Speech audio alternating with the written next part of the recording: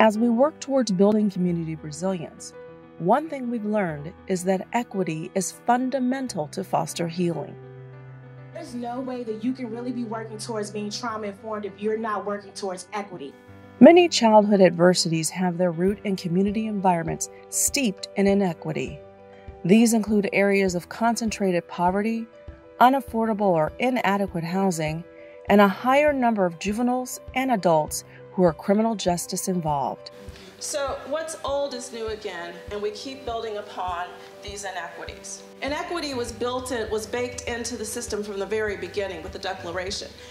In building community resilience, we understand that the pair of ACEs, adverse childhood experiences in the context of adverse community environments, are the result of policies and practices across multiple systems that were perfectly designed for the place based and race based inequities they produce.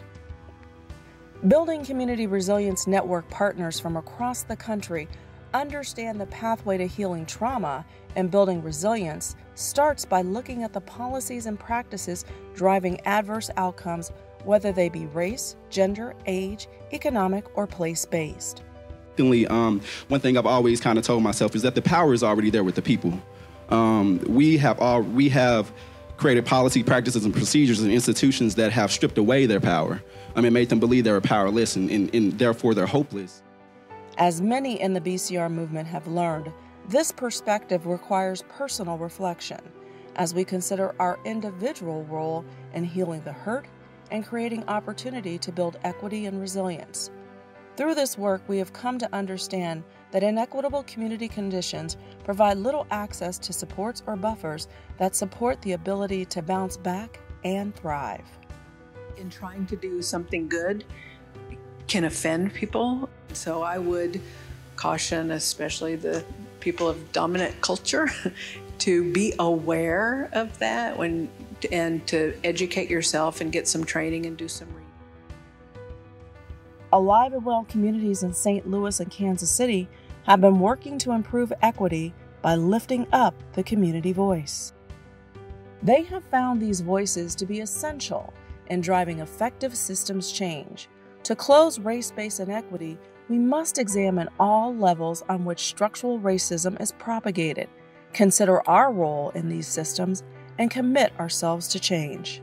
We're using the pair of ACEs to do that to help them name what's in their soil and what's in their history that's keeping them from getting to well being.